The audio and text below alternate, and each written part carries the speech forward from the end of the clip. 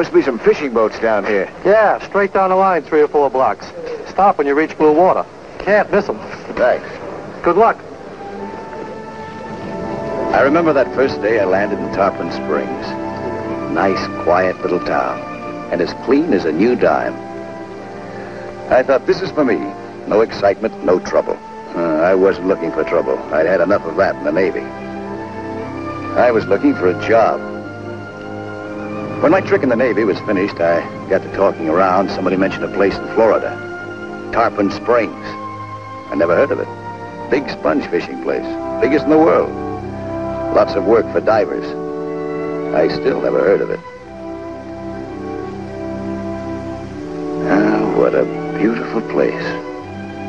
Blue water and a sky that still belonged to God, not to a bunch of smokestacks. But you can drown just as dead in blue water as you can in any other kind. Maybe if I'd remembered that, I would have drifted on. Maybe. Sponges grow at the bottom of the Gulf of Mexico. That's right, sponges. The business you used in the bathtub or to wash the car. The stuff you bought in the dime stores, only not for a dime. Let me show you what I mean. Take uh, Captain Briakis' boat, the St. Philip, out in the Gulf on a sponge trip just about the time I arrived.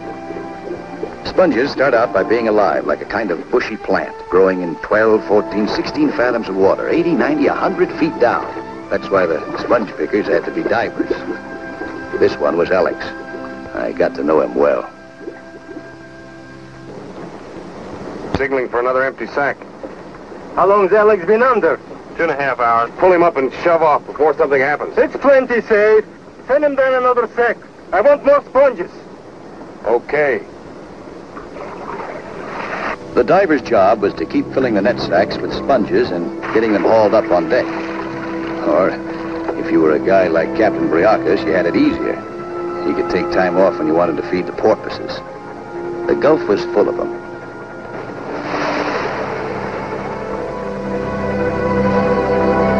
And there was always enough fish on board to make them jump for their dinner. I got to know Briakis, too. A hard, shrewd little character. Hated by his crews, but the best sponge boat skipper in the Gulf.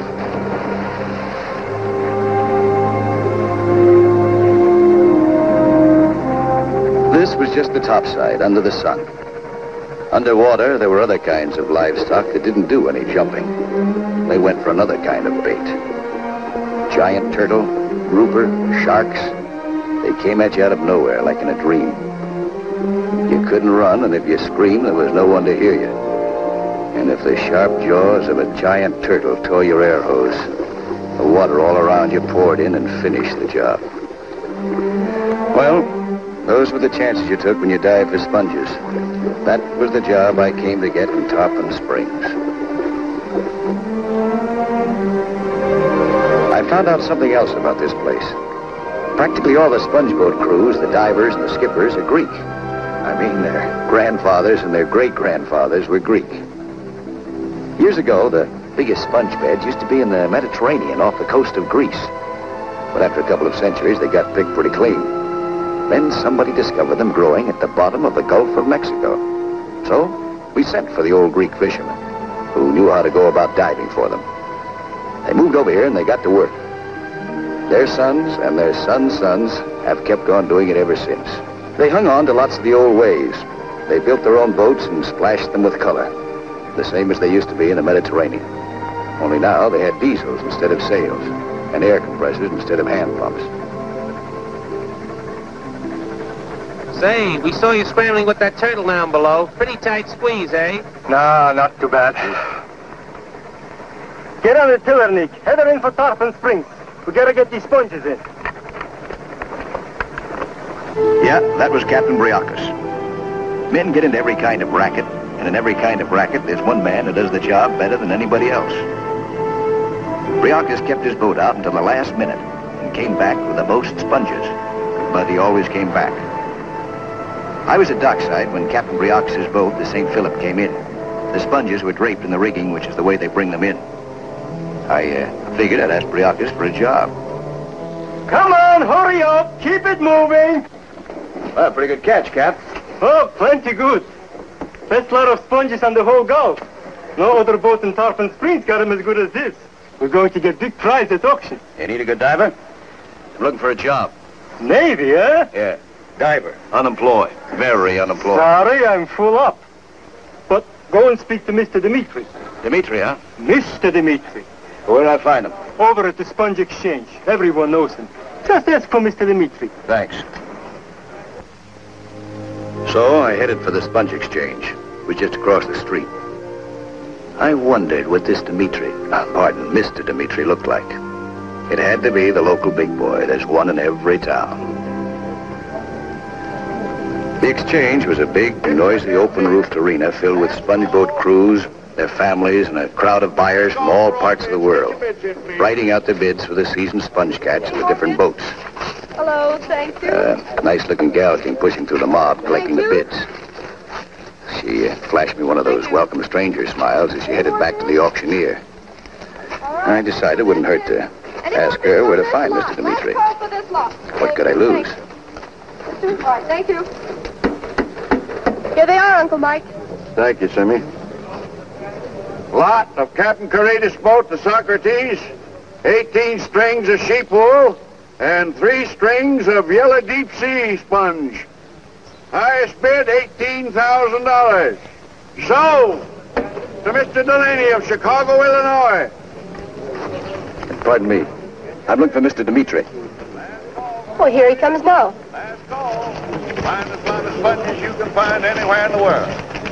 Good morning, Mr. Dimitri. How's the auction going? Fine, just fine. This gentleman's waiting to see you.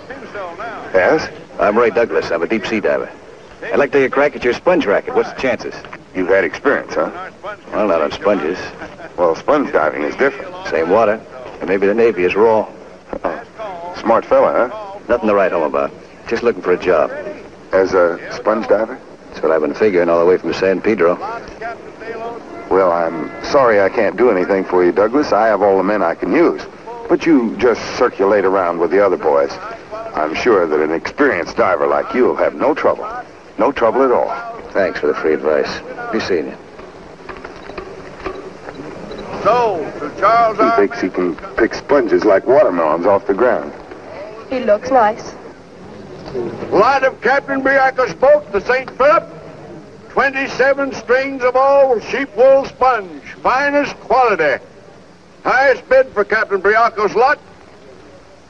$27,500. Sold to Mr. Cardenas of Mexico City, Mexico. 27 and a half grand, that's dough. Let's get paid off. Last call for all bids. Twenty-seven and a half grand. I didn't figure anybody ever paid that kind of dough for sponges. Well, you live, and if you're where you should be, you learn. I was learning. Dimitri handed Briacos cash in the spot, less what he took off for his supplies. Spongeboat crews got paid off in shares. The bigger the catch, the more for each share. As soon as the sale was made at auction, the big payoff took place.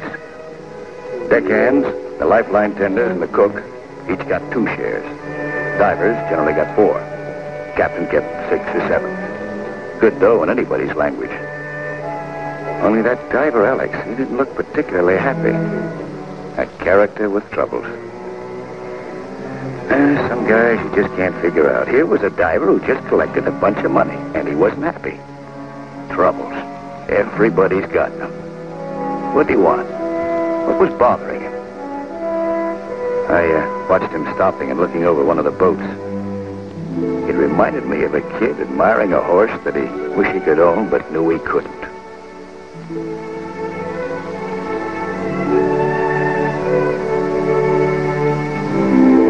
Captain Athos boat, Calliope.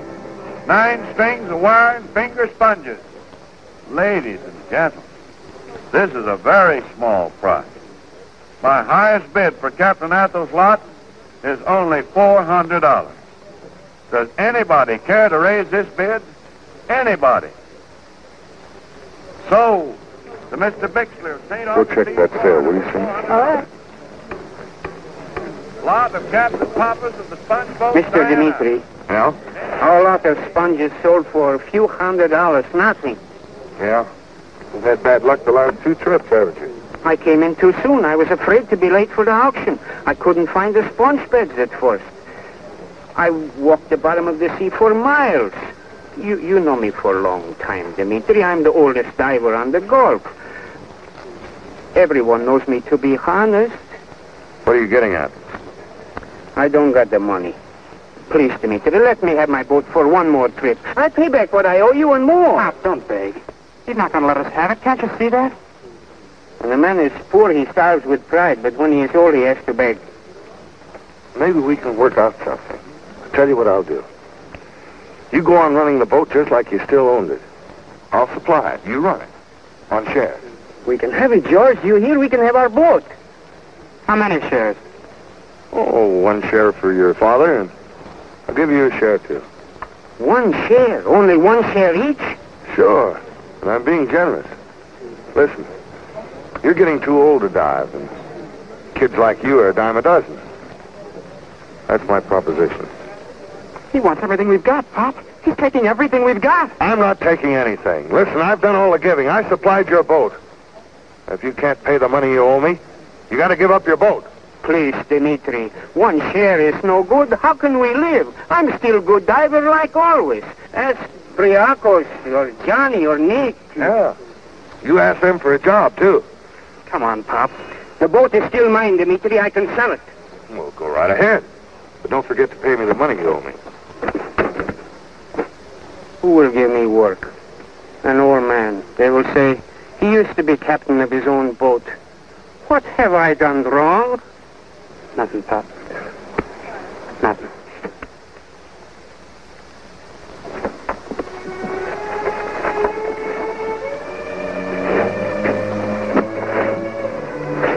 Come on, Pop. We don't belong here anymore. Let's go. All right. As soon as we finish packing, we'll go. Taking this? What? St. Catherine? Well, yes, yes, of course. What good does all your praying do? All the candles you lit for? What's that? What good did your prayers to her do? Be careful what you are saying. Did it help us find sponges? Did it keep us from losing our boat? You're talking like a fool. Did it? I've heard enough. And Catherine can't help. Dimitri's the one we should have prayed to. Dimitri. Blasphemer!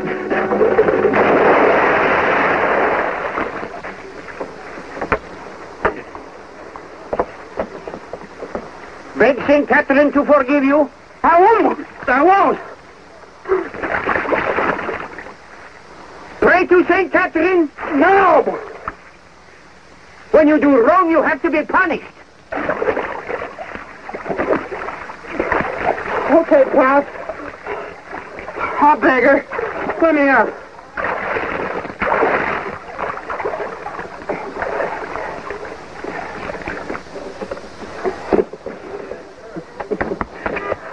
How do you suppose I feel when you say things like that? Your mother used to pray for you many, many times when she was alive. It is good to pray. It is good to have faith. Otherwise, we, we are alone. This world has no time for us. How much longer can I be with you? And when I am gone, who are you going to turn to, huh? Please, pray, my boy. Pray.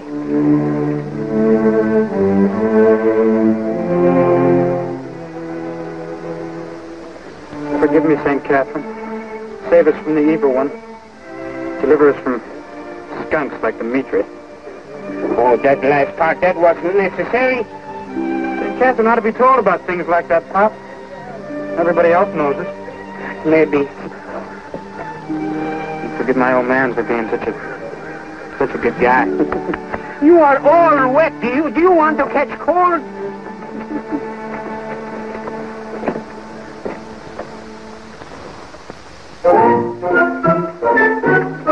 Hi.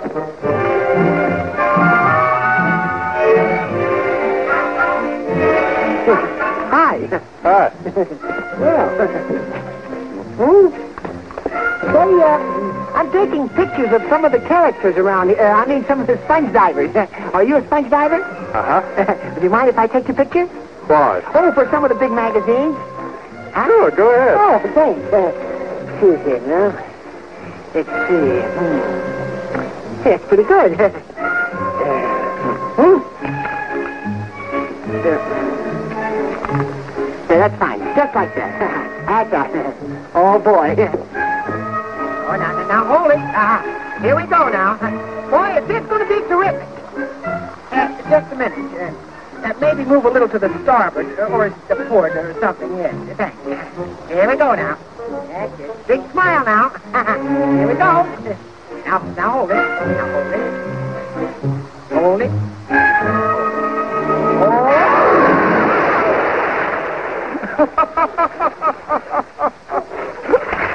Help! Help! Help!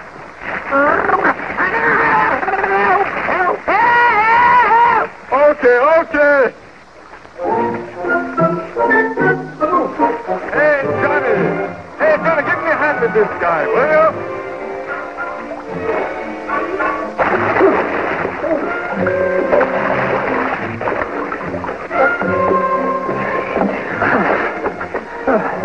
Huh? Hey, what happened?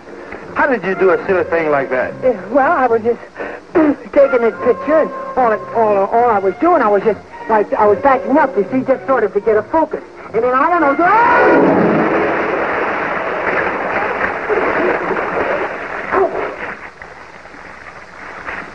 Yourself up. I'm in a hurry.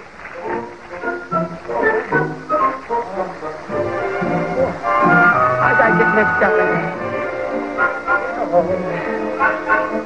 Huh? Come on, doggy, come on.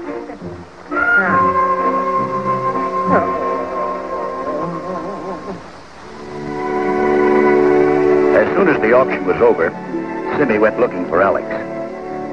Sweethearts have their own secret meeting places. It's always been that way and always will be.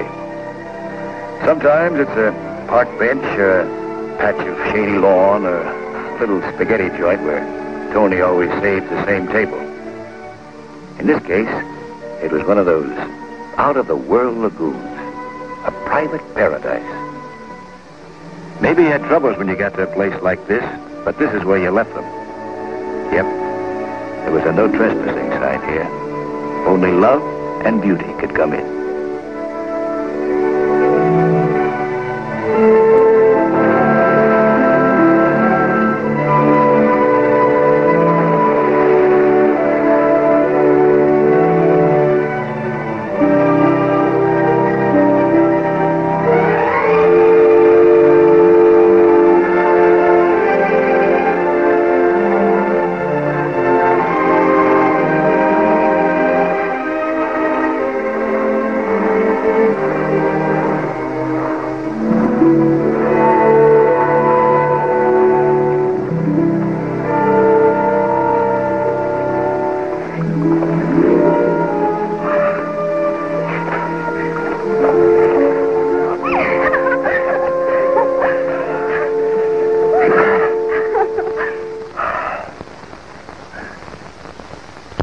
That is losing the Calliope. I know, I heard. I want to buy it. I'd be a captain. And we'd have our own boat. We can wait. Wait. Simmy, I don't want to wait. How many years have I been diving? Eight. Nine. And what have I got to show for it? It's the captain that gets the big shares, not the divers. I'm sick of working for somebody else. While I had to do it. Had to learn the business. All right. Now I know it. Nobody has to tell me where the best sponge banks are. And nobody has to tell me how to run a boat. The next time I go out, it will be on my boat. And, um, where are you going to get the money? Oh, why do you have to keep reminding me? Because if I don't, somebody else will. And I love you. I'll get that money. I'll get it from Dimitri. Oh, no, please. Why no? Not Dimitri. Oh, ah, you're just prejudiced because you work for him. I don't want any favors. This is a straight business deal. Alex, I want you to promise me that you'll not speak to Dimitri about money. But there's no reason why. I don't want you to.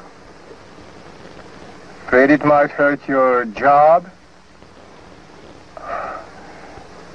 I didn't mean anything by that. I'm sorry. Then why do you always say things to hurt me? Simmy, I love you. I'll figure out some way to get that money. Don't worry about it. And if Dimitri... All right. No more, I promise. Come on, let's go.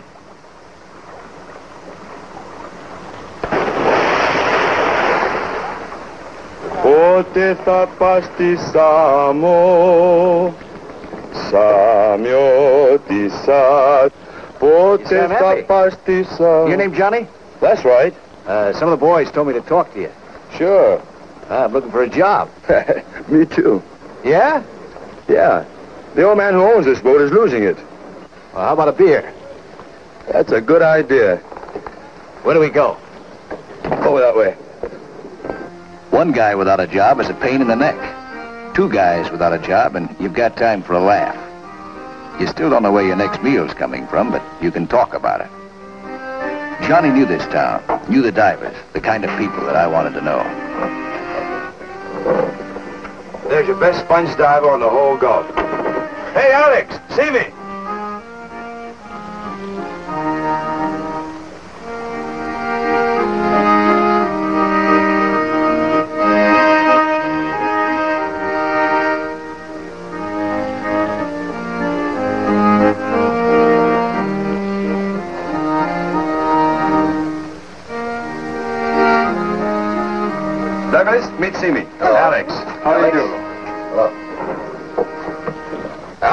Be captain of his own boat. All he needs is the money.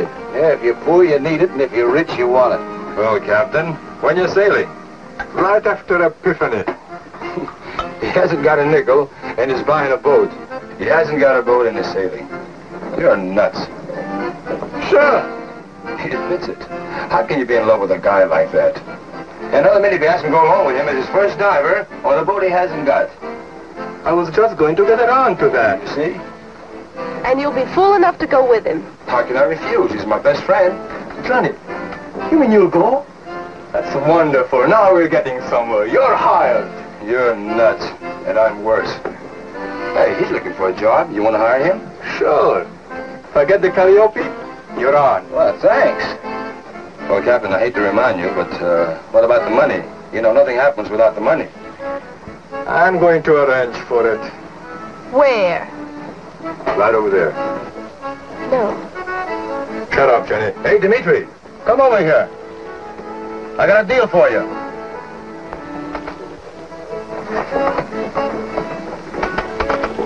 What do you got on your mind, John? He wants to buy the Calliope. Well, there's nothing serious about that. Only he ain't got the money. Well, why didn't you ask me, Alex? I'd loan you the money. You know this sponge business. That's all the security I need. Well, uh, Do you want it or don't you? Simi, what do you say? He wants it. Drop by the office and pick up a check. Thanks, Dimitri. You see? No strings. So now it was Captain Alex. Now he was playing with the big boys.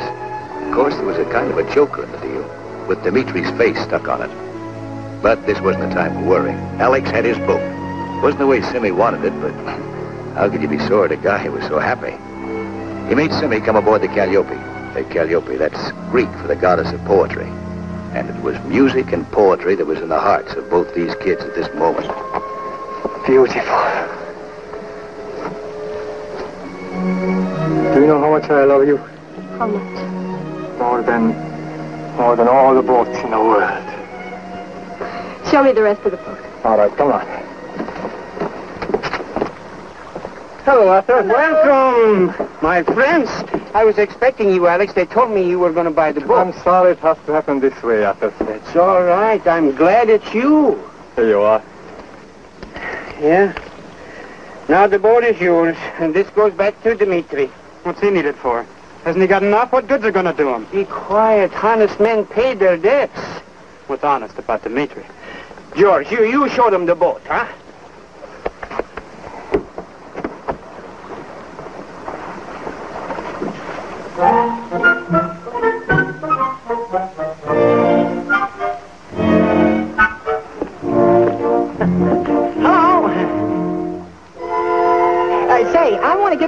of uh, sponge divers in action on a boat out at sea. you think there'd be a chance of me going along with you, Captain? I wouldn't be any trouble. I'd keep out of everybody's way. huh? Oh, now look, Captain, look. I gotta get some pictures of these sponge divers. Now, please, what do you say? No!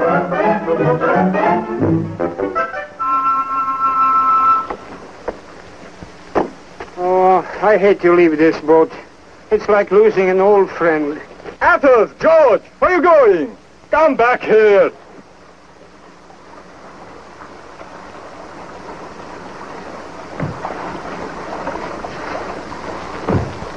We should have wished you good luck. I need some advice. Maybe you can help me. Well, sure, Alex, of course. How many men do I need for a crew? Oh, six or seven. That's what I thought. I've signed on. Johnny and a Navy diver, a new man. I need a couple more divers and some deckhands. I could sure use a good diver with lots of experience. I wouldn't care how old he was. And the deckhand could be young. Even a boy. I wouldn't mind. Please, don't say that, Alex. I'm an old man. No one on the whole Gulf would let me dive again. Well, you want to come with me? Do we? Pop, did you hear what he said? All right. We're sailing the morning after Epiphany. Be here early. I guess St. Catherine must have been listening, huh? Yes, she must have been listening.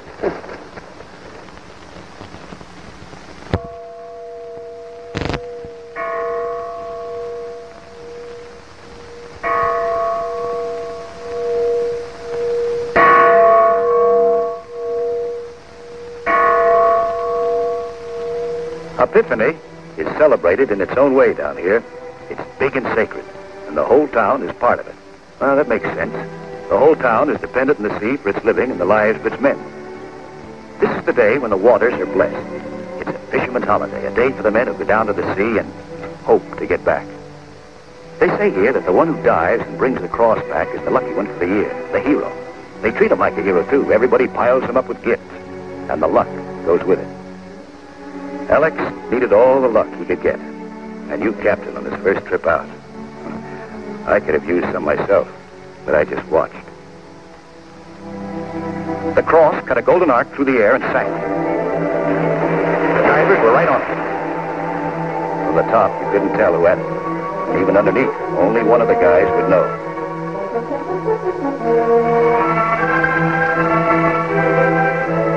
They were breaking for the surface. I got it! Alex has got the cross. They had faith down here. They believed. They didn't work alone. It was big, too big for any one of them alone. And this was the time when they showed they were all together.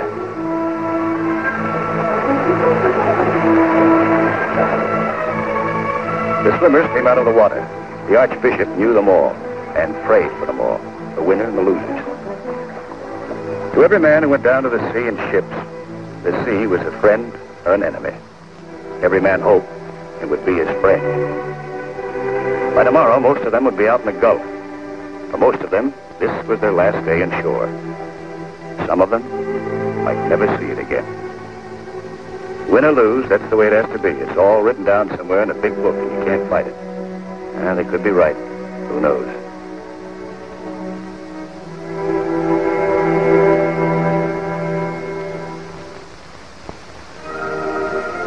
The Calliope was set to sail the next morning. Alex must have been on board all night loading supplies. Johnny arrived first. It wasn't just talk anymore about Alex being a captain of his own boat. It was real. It was happening.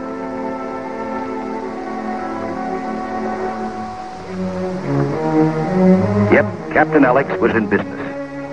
I got there right after Johnny and stowed my gear aboard. Oh, gosh, it felt good having a job again. Then old Athos and his son came on.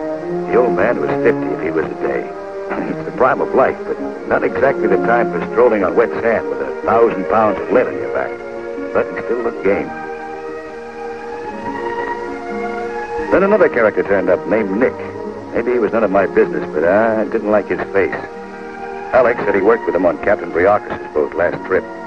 Good diver. Talking of characters.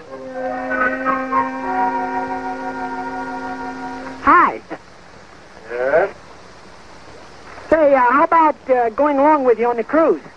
What, you want to take pictures again? Oh, I'll do anything. No, huh? Wait a second.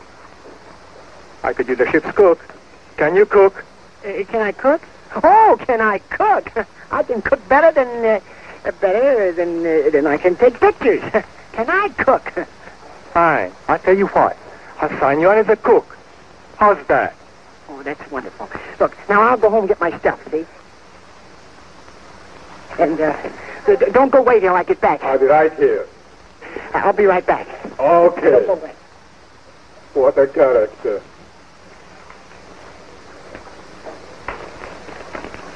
Well, good morning, Simmy. You act like you're in a hurry. I was just going to see someone. I'll be right back. See someone? Oh, yes, I remember. The Calliope's leaving this morning. I'll be just a little while. Oh, what's your hurry? You know how it is when a sponge boat's leaving. Always a delay at the last moment. But I think I better be going. Oh, you act nervous. Oh, I'm not nervous. Go on. I wouldn't want you to miss it. Dmitri was playing his own game, giving with one hand and taking with the other. There was I with dough, with power, but he wanted more. He wanted what he couldn't get. Simi.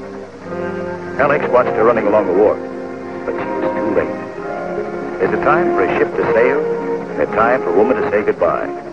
But there wasn't any time to wait. There wasn't any time.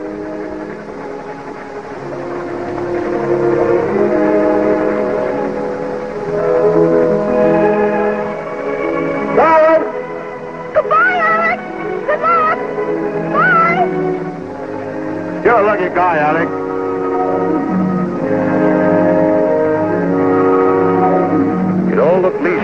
Gliding down the bayou to the Gulf, but every sponge boat that went out went out on a race. The goal was to get a full load of sponges and make it back in time for the auction. We had about a month. Every sponge boat captain had his own ideas where the pickings were best. If you guessed wrong, you tried another spot. Sometimes, like old Athos, you could spend the whole month just poking around the Gulf, which is a kind of a roomy place, and come back with nothing. The only one who would have liked that to happen was Dimitri. I had a hunch he was hoping it would happen to Alex. The captain only had to have one bad trip, this one bad trip, and he wouldn't be a captain anymore. When we hit the Gulf, I went aloft. Up there by yourself, you got a feeling for all this bigness, all this beauty. The noise, the fuss, the jabber were gone. Alex was a diver ever since he was a kid. He had a hunch where the best sponge beds were. Most of the other boats stuck to the shallow spots, working in 50, 60 feet of water, where the diving was easy. We headed out for the deeps. Alex said he knew of a ledge where the sponges grew as thick as cabbages, at 15, 16 fathoms, about 100 feet down. Anyhow, late that day, we finally hit the spot. Alex started yelling for a sounding. Let's have a sounding. 15 fathoms. 16. 17. 18. 19. 20. 1. 2. 3. 4. 5. 6. 7. 8. 9. 40. I can't figure out what's wrong. 30 fathoms and still no sign of floor. 30 fathoms, that's great. You ain't sending me down in that depth. I don't care how good the bed is. 30 fathoms and you're squashed like mashed potatoes. 16 fathoms is bad enough. I'm not sending anybody down. We're not over the bed yet. Are we just hunting around or do you know where you're going? I know where I'm going. Well, then why ain't we there? How'd we miss it? You tell me. That's your job, Captain. We might have been off course. So we kept moving, further out into the Gulf, with everybody waiting for Alex to say, this was it. This was the place we were looking for. I'd hate to have to admit that Nick could be right. The guy that you don't like should be right about anything. But that's not the way it always is. I figured him for a character with a grudge. Maybe a grudge against Alex, maybe a grudge against uh, the whole world. There never was a place like a boat to find out about your fellow man. You were trapped on a boat, trapped with the good ones, the, uh, the strong ones, yeah, and the weaklings, the cowards, the cheats. The captain had to rule them all. It took more than navigation to run a ship, and a sponge boat was no different from any of them. We reached another spot that looked promising. Alex yelled for Athos to heave the lead again. 14, 15, 16. Rock bottom. 16 fathoms. Get over the beds now. Everything's ready. Who dives first, Alex? Hey, Alex. Let me get down. I want to go first. I want to go You've done this before. I want to Stop begin, the Jeffrey. arguing, fellow. Stop the Let arguing. All right, well, let's split for it, huh? What do you take? Heads or tails? Take heads. But you both lose. The captain dives first. Nick, get me ready. Come on, Johnny. Everybody sprang to life. We got the cloopers and started lowering them over the stern. Cloopers are wire guards that uh, fit around the Calliope's propellers like uh, big bird cages. They have to be put on whenever a diver is down to prevent the air hose from snaking against the propeller's spinning blades and getting cut. Alex was getting into his suit. We checked over the gear. Lifeline, air hose, air pump, motor. We were all set. Gangway, gangway. Hey, please take that away. oh, no, this is for Alex before he sinks. hey, here, Alex. Look, you got beans and sauerkraut, winnies and hot spaghetti and hot soup. Oh, boy. Nobody eats before they dive. Makes them sick. No. Now get out of here. No, no, here. Get out. Now get out!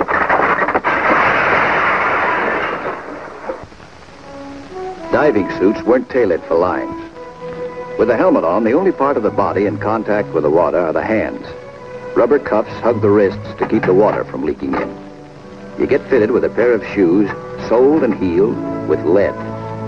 The suit weighs about 200 pounds and about as comfortable as a suit of armor on a hot afternoon. Sometimes you stand on a platform and get lowered down. Sometimes you climb down a ladder. In a sponge boat, you jump. They had a saying down here. A diver for two years was a diver for life. The job is to make sure you live for those two years with something left over for the rest of your life. It was as beautiful as a fairyland. It could also be as dead as a grave. But the fascination of deep sea diving, once it got you, it stuck forever. Man's a strange animal. Walking the earth ain't enough. He's got to beat the birds flying and take over the ocean from top to bottom. You moved in a world of your own under the sea, a world where nothing ever made a sound.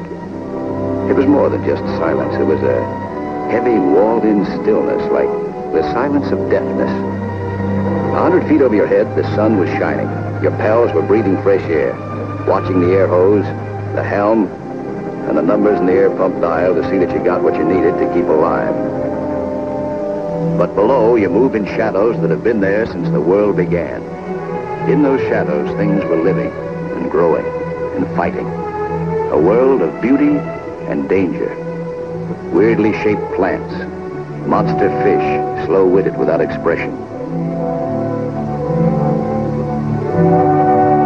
The man-eater shark, the grouper, the octopus, the vicious moray eel with teeth like barbed wire, the deadly manta ray, gliding like an underwater vulture, with a tail like a scorpion. And your only weapon was a four-pronged sponge hook and a sharp knife, and the brains of a man. Alex was groping along the bottom while we waited above.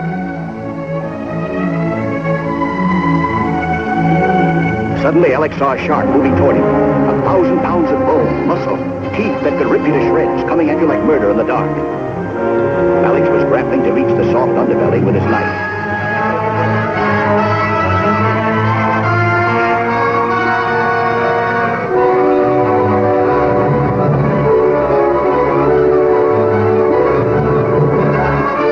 The shark swam off to let its wounds heal or to die in the shadows. We hauled Alex aboard.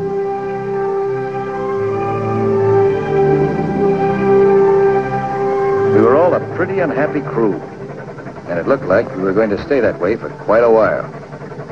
Well, like I said, you had to learn to take the good with the bad. You didn't have to like it, but you took it.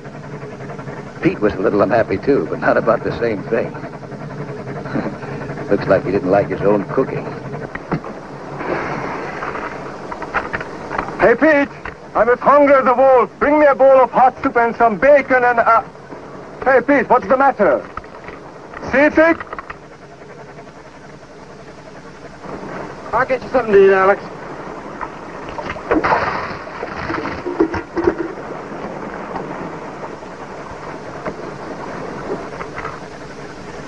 What's the matter? It's not the right place. Let's keep moving. We're wasting time. If we miss the auction, we're stuck with the sponges under the next one. With no cash to buy supplies for the next trip. All right, we can't help that. Let's go. Where now? Straight out. Okay. It's your boat. I'll take over. All right.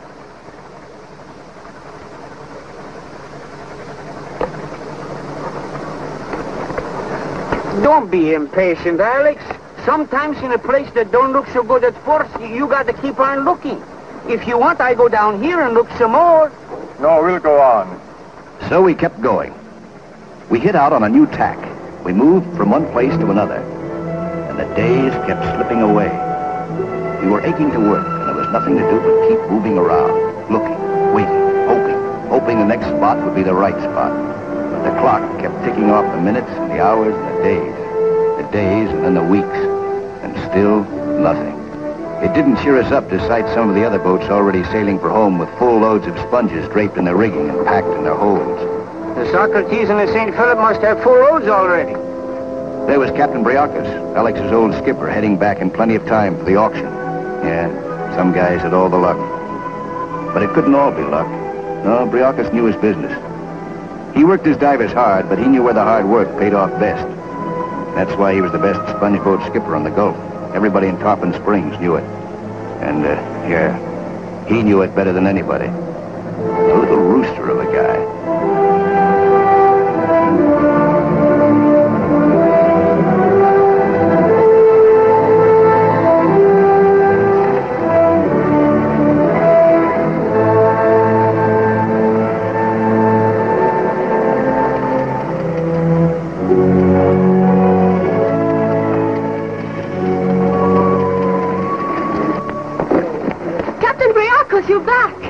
Got to leave some sponges in the Gulf for the other boats. Can't take everyone, eh? That's wonderful. Did you see the Calliope? Oh, we passed it yesterday. Is everything all right? Is it coming in? It was going the other way. The other way? Yeah, the other way. Come on, fellows. Hurry up. Take those sponges off.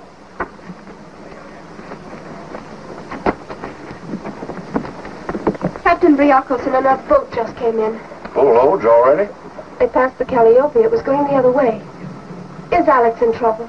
He might be. If he doesn't find the bank, he'll come back with nothing. Well, then he'd lose his boat. Stop worrying, silly. This isn't the first time he's been out on a sponge boat. He can take care of himself. Now, here's a kid that's a good diver. A fine diver. So he isn't satisfied. Wants to be a captain. Yeah, Joe? Briakos wants to store the sponges in the clovers, Mike. You got the keys? Yeah, come on. Am I glad I only auction sponges and don't sell them? And do I worry? Make money for everybody except for me. Why do you keep telling yourself that he's going to have hard luck? He's a smart boy. He'll be all right. It might happen. Don't take the boat away from him, please. Well, he's not going to lose his boat. No matter what happens, you have nothing to worry about. You wait till he gets back. You're letting this get you. Maybe you're right. Sure. Now relax. And when he comes back, we'll talk about it if you want. And finally, we hit it. Right on the nose. A beautiful spot. It was only a few days before the auction, but we still had time to make it if everybody worked to the limit. Yep, it was a beautiful spot. It was like picking flowers in a meadow with a strong wind blowing against you and the rainbow fish floating by you like birds. Everybody worked, topside and below. There's nothing in the world like work. Sure, you hear plenty of guys talking about spending the rest of their lives doing nothing. Well, they can have it. Ah, you never saw a happier crew than we were now. They kept sending down the empty sacks, and we kept sending them up, The sponges were all over the place, just waiting for us. Thousands of dollars worth of sunken treasure. Enough to buy out Dimitri. Enough for Alex, for Simmy, for old Athos and George. More than enough for all of us. We worked from sunrise to sunset. as long as we could see, trying to beat out the clock that wouldn't stop moving against us. Our luck had changed. This is the way we wanted it.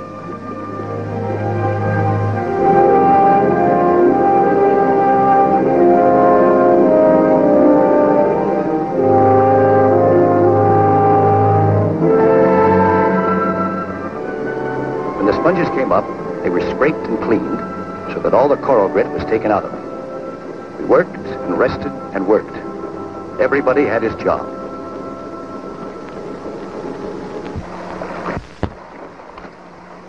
Who's down? Johnny, for two hours. Bring him up. Okay. Whose turn is it next? Athos, he's asleep. I'll go get him, huh? No, wait a minute. You look tall in. I'll dive next. Johnny hit the surface and floated himself into the ladder hanging over the side of the Calliope. There's a way of letting your suit get inflated with air so that you're encased in a kind of raft, but you have to know how to do it. Inflate it too much and you'll bob around like a paper bag. Johnny knew the trick. There was a good sailor and a good shipmate. A great combination when you can find it. Yep, Alex was lucky in this, and so was Johnny. They'd be working together until they were both as old as old Athos, and they'd still be good shipmates. There, Johnny. Thanks, Pete. Yes. Hey, Johnny, how was it down there, huh? How was it? Why don't you try it? Oh, boy, if I only could. What a diver I'd make. Oh, I'd pick sponges by the bunches. I'd move around and I'd run around fast enough. I saw a shark, I'd cut his heart out and throw it in his face. oh, boy, if I saw one of those octopuses, oh, boy. What? Okay, Pete. You'll do. Yeah? Put the suit on. Yeah. Oh, well, I take care of those slimy monsters. Where did they get off protecting a guy like me who just came down to pick up a couple of those little sponges? It, huh? Put the suit on. You're going down next. Oh, wait- wait a minute, Alex. I was only kidding. I wasn't. Uh, you weren't? No. Well, yeah, I'll see you later. Well, now, hey, now, now, wait a minute, fellas. Wait a minute now. Hey, fellas, I've changed my mind. When a diving helmet is bolted on, it's like a prison cell with you inside. There are windows in front, on the sides, and on top for you to see what's happening. Pete didn't care for it. He didn't care for the whole idea. What happened with Pete started out to be a joke. Everybody liked Pete.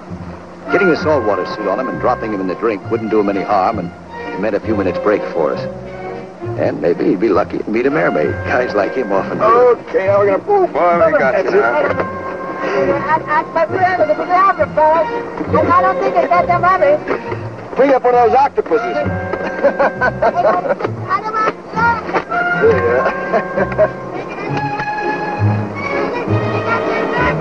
Oh,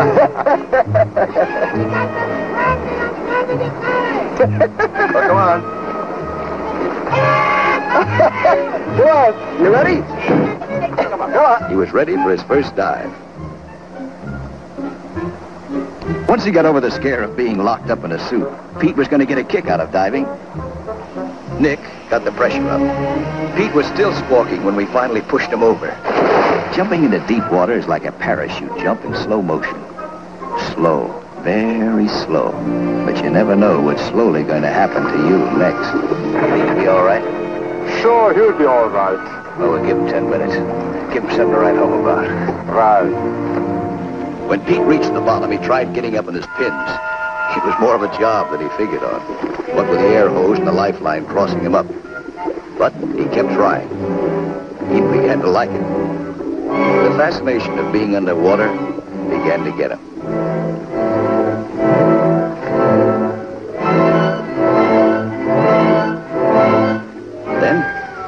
Spotted a sponge. It wasn't a prize specimen, but it was the best he could do, and he headed for it, bumping along in the bottom.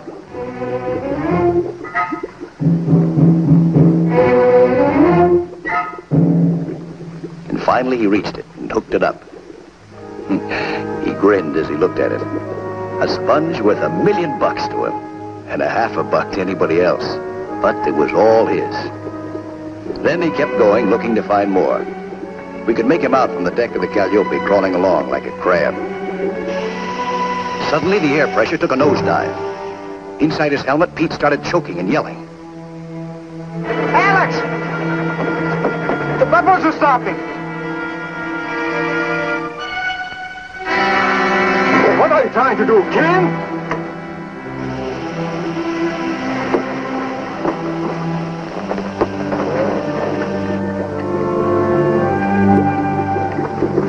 Alex and Johnny got Pete back on the surface again. Hey, Douglas! Help Pete!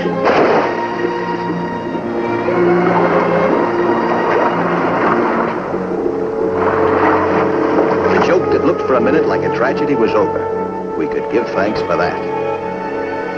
But what made the air pressure drop? How did that happen? Oh, I'm sorry, Pete. Pete, something happened to the pump. How do you feel, boy? You all right, huh? Look, come on, you all right? What happened, huh? Wait a minute, wait a minute. Where, where's my sponge? where's my sponge, huh? Where's my sponge? Where's my sponge? Where's, oh, hello, sponge. ah. You all right, huh, fella?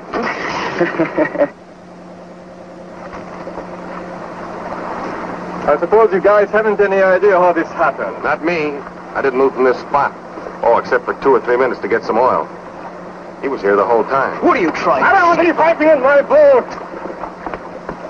Nick, go and clean the diving helmet.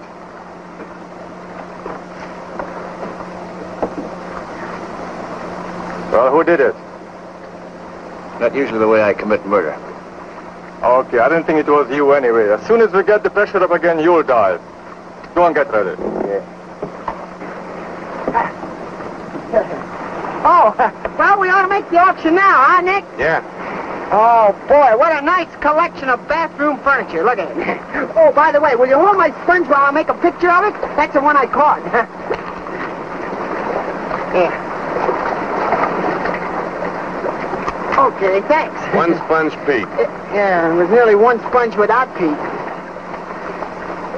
Then they got me ready for a dive. No, I wasn't singing with joy, and I'd say you'd know it. Things were moving fast, but not exactly in the right direction. I had my own suspicions as to who was steering them wrong, but you couldn't be absolutely sure. You couldn't take a chance in being wrong, and it made you feel jittery to know that somebody on board couldn't be trusted while you were under a hundred feet of water. You were being sniped at when you couldn't fight back. Somebody was kicking you when you were down. Diving was different from most other jobs. It wasn't only because you were underwater where no human being belonged in the first place, but because once you were under, you were completely dependent on other people to take care of you. Let them forget about you for just three minutes and you were on your way to a better world. There was something to worry about. I kept picking this stuff and sending up full net sacks. We still had three days left, but everything had to go smooth. There couldn't be any more phony accidents. And that made me think of Nick and wonder what he had up his sleeve and what was biting him or who was paying him off. And that made me think of Dimitri. Yep, I could see the whole setup. But I was really thinking of Alex. Was he keeping his eyes wide open? Well, that wasn't so easy. He couldn't see everything that was happening. I mean, he still didn't think anybody would cut the clouvers loose and make it possible for the air hose to snake up against the blades of the propeller. So I kept working, and what I didn't know didn't bother me. Then. It wasn't until I began getting near the end of my trick and feeling like I should stay down for another couple of hours and let old Athos really get a rest that I got that peculiar hunch that makes you think something is starting to go wrong. It was just a hunch, nothing definite. I checked the air valve, the lifeline, the air hose. Everything okay.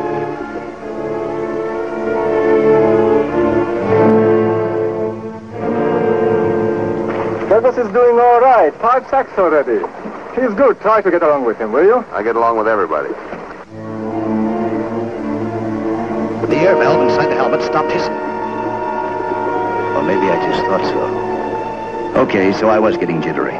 The whole world is full of fresh air, all free. I just wanted to be sure that I kept on getting my share of it. Anything wrong with that? I signaled the deck to haul me up. Up to sunshine and voices. Up to where you could fight and see who you were fighting.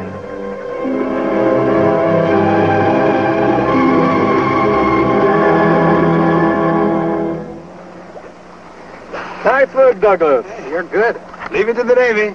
Nick! Hey, Nick! Hey, something happened to that pump again? No, everything went fine.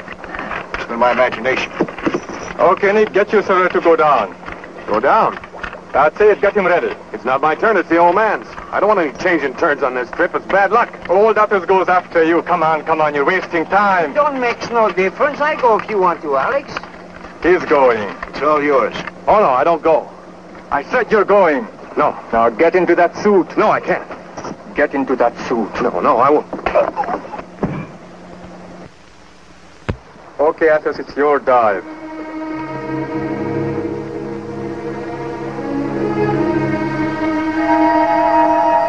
You Alex. Here you are, Pop. Good luck. I'm going up top.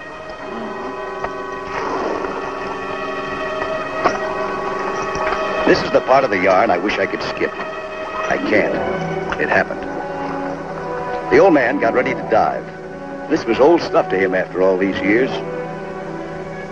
The kid wanted to be a diver himself one day. He liked watching how the old man worked. Or it could be he was just a little worried and wanted to be where he could see down to the bottom, just in case. But the old man wasn't worried. Or if he was, he didn't let anybody know.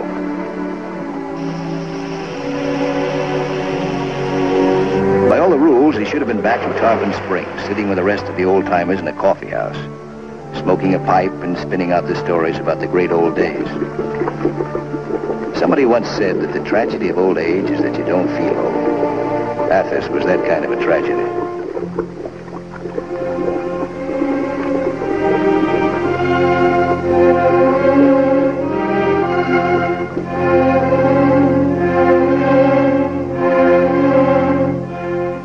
Yeah, this is the way he wanted it. And this is the way it was. Only he didn't know the whole story. Only one guy on board knew that. One guy's secret. Old Athos must have felt fine knowing he was still able to work with the younger divers. Knowing that he could still keep going for himself and his kid. He pushed along the bottom, doing his job like the expert that he was. While over his head, we were all doing our jobs. Johnny at the lifeline, me at the tiller, with my eye on the air pump dial to make sure it didn't do any more tricks. Everything was going smooth. I mean, uh, seemed to be going smooth. Until the section of air hose trailing behind the old man's helmet fouled in some rocks. He felt the drag and stopped. It didn't look too serious. The air hose wasn't damaged, just caught. But he couldn't see what was winding up high over his head. He made for the rocks and started to work the air hose free. Somehow that was turning out to be a tougher job than he expected. And then it happened. The next second he was gasping. The air was leaking out of the hose, and it wasn't because of the rocks. The air hose was cut. Maybe as young George died, he was remembering how his father once pushed him in the water to make him pray. But now it was his father who was praying, praying for help. The old man was still struggling to ensnarl the air hose from the rocks so he could be hauled up, but he was losing strength. Then the kid reached the bottom and began making his way to his father. He only had how much, say, three minutes underwater to reach his father, free the hose, and get back to the surface himself. Three minutes to give for his father's life. Man saw his son coming nearer. And then his joy turned to horror because he saw something the kid couldn't see. He shouted in warning, but the shouts died inside his helmet. The kid kept swimming straight for it. And the next second, it was too late. Something snapped shut on the kid's leg like the jaws of a steel trap and held him fast. The scientific boys call this thing tridacna. In the Pacific, we used to find them dug in the sand just offshore when the tide rolled out. They're clams, the almightiest of all clams, four feet across and weighing 500 pounds. A clam that you can't pry open once it closes on you. Old Athos saw his son, saw him dying before his eyes, and he struggled to reach him, to help him. He fought with all the desperation, with all the fury and all the strength that he had left to give for the life of his son. And he was fighting this last terrible battle alone.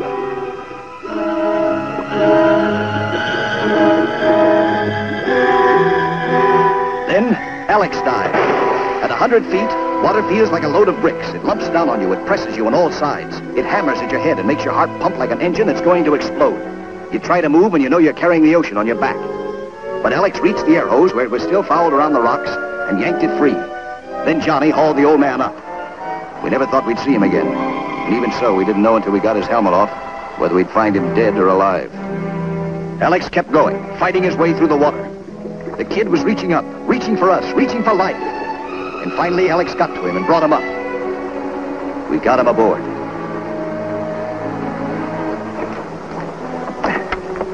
Alex, I got something to tell you. You gotta listen to me. Shut up. Are you, you all right, huh? You feel better? Yeah. Huh? Where's George? Where's my boy? Right over there. Oh, you got him. I saw him in front of me.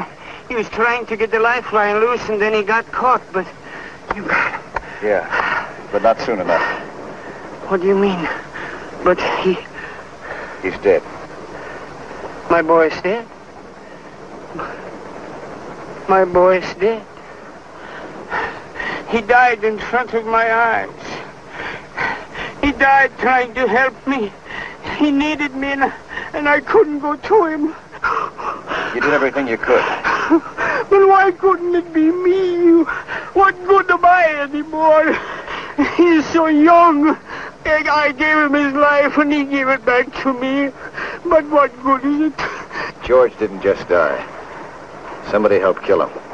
Help kill him. What are you saying, dog? The propeller guards were off. Who could do such a thing? Who? Me. Me, I did it. I killed him. Nobody but me. Oh. Why did you do it? I didn't mean to kill him. I was only trying to spoil your trip. Who'd you do it for? Who's paying you off?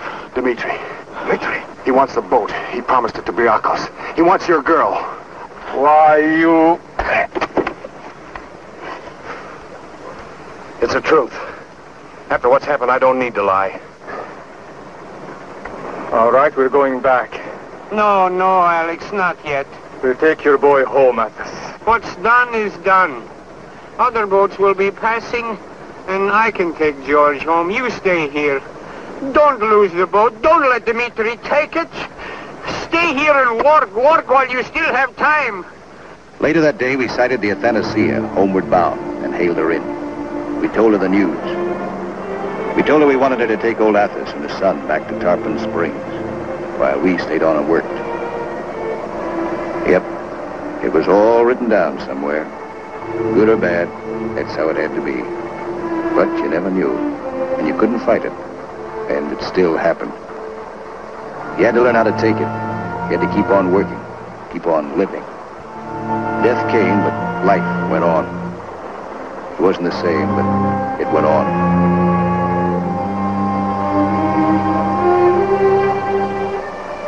Then old Athos put his kid aboard. The kid who was older than any of us now. The kid who was taking his last trip home.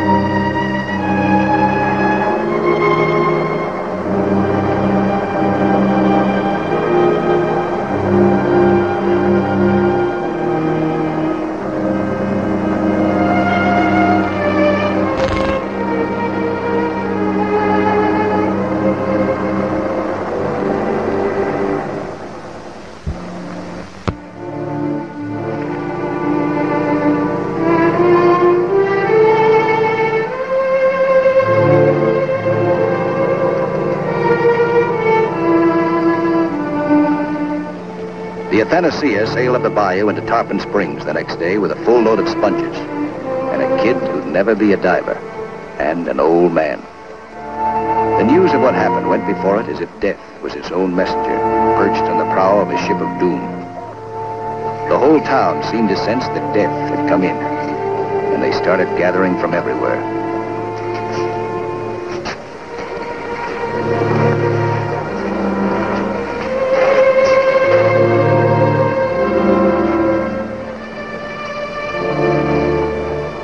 Old Athos got his son ashore. And then he stood. Not the meek little guy anymore, but a guy with the face of an avenging angel. Murderer. Murderer. Are you out of your mind? Athos, what happened? You killed my boy. You killed him. You. Stop that. I don't know what you're talking about. My boy is dead. Do you understand? You killed him. You and Nick. That's a lie. No, it's no lie. It happened. You didn't want Alex to come in. You got Nick to do everything, to try to kill me, to kill Alex. Alex! Yes, Alex. He tried to kill Alex. And you are friends with this man, this murderer. Why did you kill my boy? Why did you? He didn't do anything to you. He's over there now lying dead, drowned. How do I know what happens a hundred miles from here? Am I responsible for every accident that happens on a sponge boat? Accident? When the propeller guards are caught, you call that an accident? I don't know, but it's got nothing to do with me.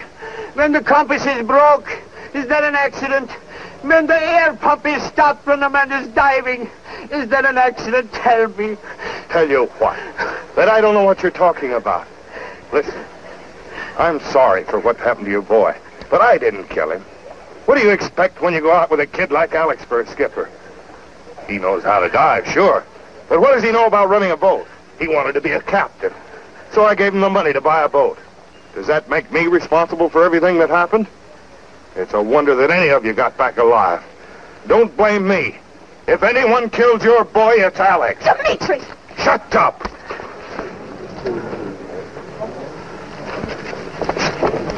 Alex. Please, Simmy, forgive an old man for being angry, but I know how it feels to lose something you love. I was afraid Alex was going to lose you, but I was wrong.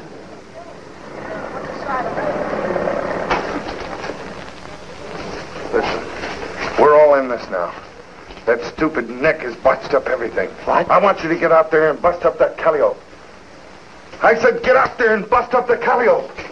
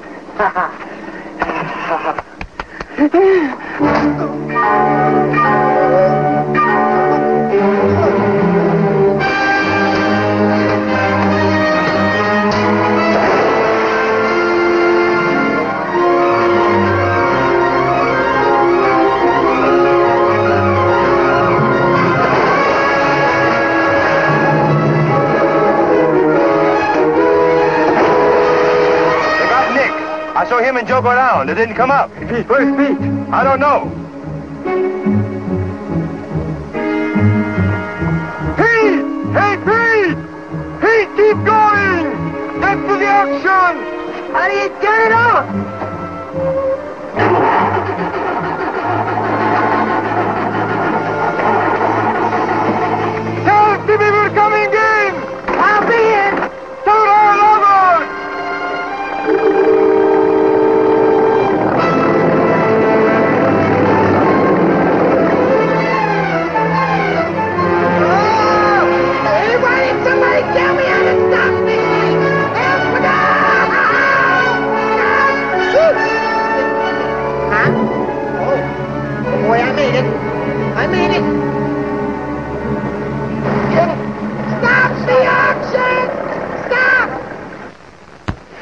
Simmy. Alex is on his way in.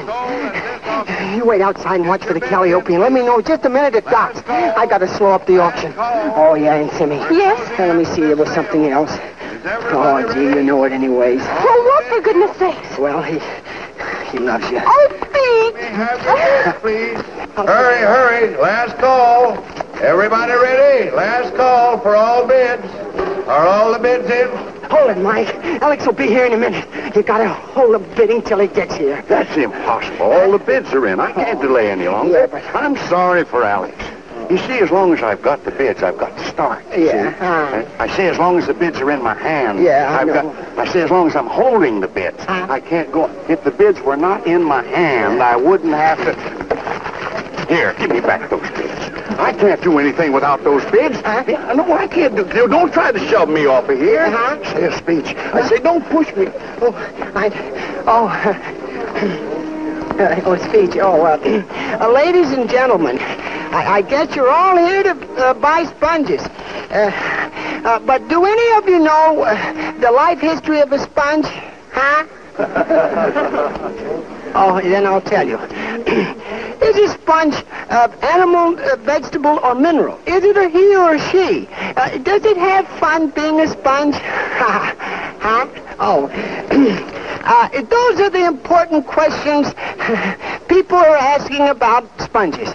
So, if you'll all be comfortable, I'll tell you. oh, uh, there are a lot of types of sponges. The big ones and the little ones. Get this auction Now, going. I can't. Oh. He's some got all the bids. like Well, what's he doing with them? Sponges. Oh, here you have. Pick him up. Help me pick him up.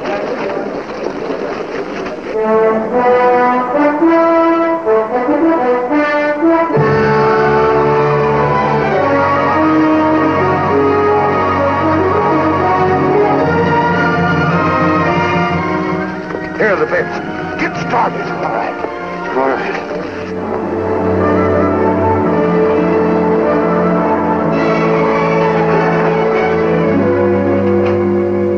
I know you wouldn't want me to close this auction before we offered you our finest lot of sponges. Uh, another lot just came in. Captain Alex of the Calliope. All first grade sheep wool sponges from 16 fathoms. 32 strings of finest quality. Get your bids in, please. Last call for all bids. Write out your bids. Last call. Get your bids in. Get your bids in. Hurry, hurry. All bids in, please. This is the last lot. This will end the auction. Get your bids into me, please. Let me have your bid. Okay, Mike. There goes Dimitri. Let's go. Don't go away, folks. There's lots of time. Let me have your highest bids and make them high. There's no wall as terrifying as a wall of angry men. The bravest guy would rather turn and run. And Mr. Dimitri wasn't the bravest guy. Maybe it was old Athos who aroused them, but I think it was the kid. The voice out of the water, crying out against Dimitri's crime. Crying so loud that the whole town heard him and rose. Listen, you guys. Give me a break. I didn't kill your boy. Nick did. Tell him, Athos. Tell him, Athos, that I didn't kill your boy. Tell him I didn't kill your boy. The blood of my boy is on your hands. Give yourself up. What do you want from me? I'll give you anything. My money, my boat, anything. You guys give me a break.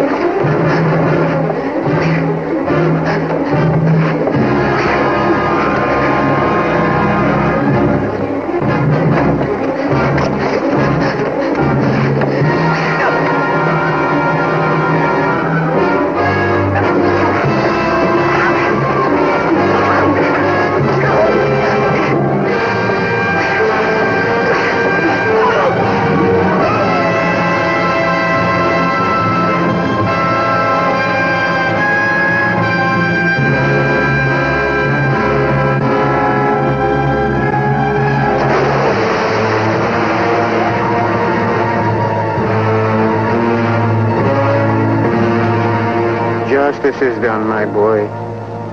The justice won't bring you back.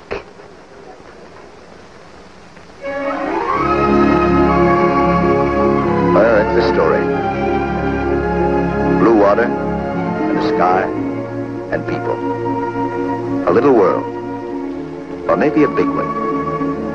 Yeah, maybe like the whole big